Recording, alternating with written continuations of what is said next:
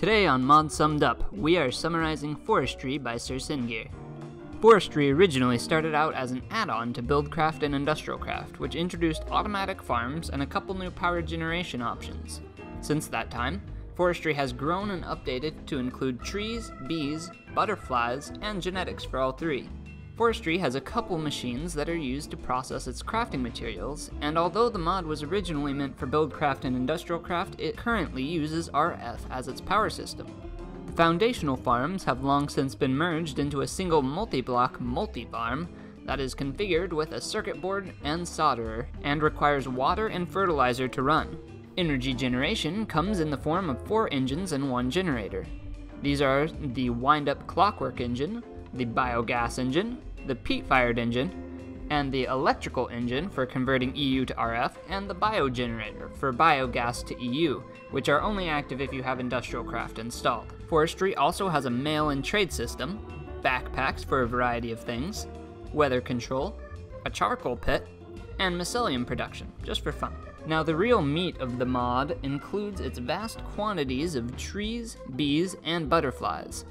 Trees you will find occasionally naturally in the world gen, and butterflies spawn on forestry trees occasionally.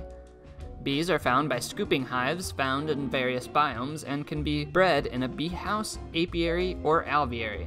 Trees can be bred by planting forestry trees next to active bees.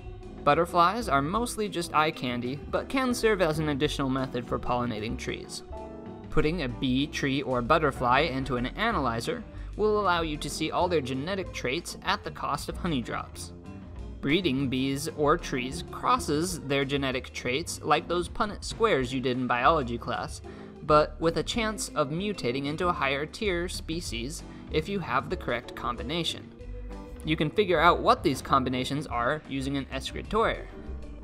Different bees and trees produce different types of honeycomb and fruit, and higher tiers generally have better traits than lower tiers.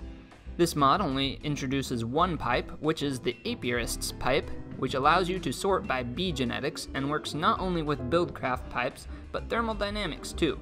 Now, let's wrap up with the PackDev's Corner.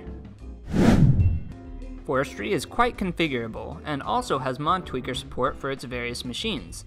Not for its genetics or multi-blocks, but for its machines. Though it was originally an add-on, it now works magnificently as a standalone mod.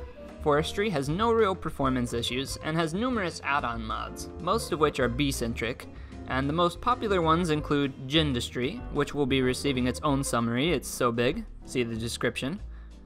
JEI Bees, which lets you see what bee species will breed into others without an escritoire. More Bees, which provides bees for all sorts of different materials. And Binnie's Mods, which is actually 5 mods combined, including additional bees, trees, flower genetics, and a revamped genetics system. In conclusion, Forestry may be an old mod, but it has numerous interesting features that can really add to most modded experiences.